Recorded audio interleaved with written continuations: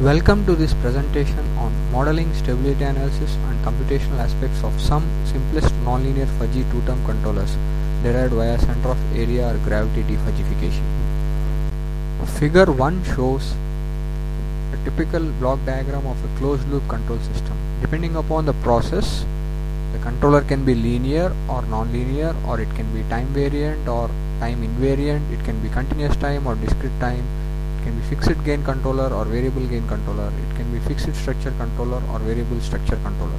The popularly used controllers in the industries are PID controllers. However, these PID controllers do not work well for nonlinear and complex plants. For such nonlinear plants, nonlinear PID controllers such as auto-tuned and adaptive PID controllers were developed. Usually for such nonlinear PID controllers, their analytical structure U is equal to f of x, where x and U are the inputs and outputs of the controller respectively is known. The tasks of the design engineer are selection of suitable f and tuning the parameters of the controller to meet the performance specifications. Alternatively, controllers employing fuzzy logic were also used to control control the complex and mathematically ill-defined plants.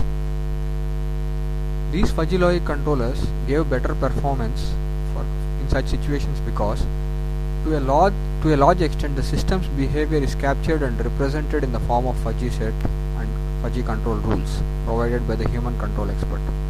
However, the drawbacks of such an approach are lot of trials are required to choose fuzzy sets and control rules and are subject to experience of human control expert. And also analysis and precise understanding of the controller is not possible. Finding the analytical structure F for various existing components of fuzzy logic controllers will have the following advantages. Analysis and design can be done with the help of various time-tested nonlinear control methods, thereby minimizing trial and error effort. The structures can be easily implemented on various digital platforms like field programmable gate arrays, digital computers, microcontrollers, etc. at lower price. The existing linear linear PID controller expression will be replaced by a non-linear fuzzy controller expression. They can be applied to safety critical industries such as nuclear power plants as stability of the overall control system is guaranteed. The main objective of this work is to find the mathematical models of fuzzy controllers using center of gravity defuzzification method. In the literature, mathematical models of fuzzy controllers were presented by using center of defuzzification method only. However, center of gravity defuzzification method is more accurate method when compared to center of sums method and it is widely used in practice. In this work, we also study the computational aspects of the simplest fuzzy controller models developed. In this paper, three different models of fuzzy controllers were obtained and named as Class 1, Class 2 and Class 3 controllers. Class 1 and Class 2 controllers employed center of gravity defuzzification method whereas Class 3 in Class 3 controller center of sums defuzzification method was employed. The expression for Class 1 controller model is presented in this slide. From this slide we can observe that Class 1 controller model is a nonlinear controller model.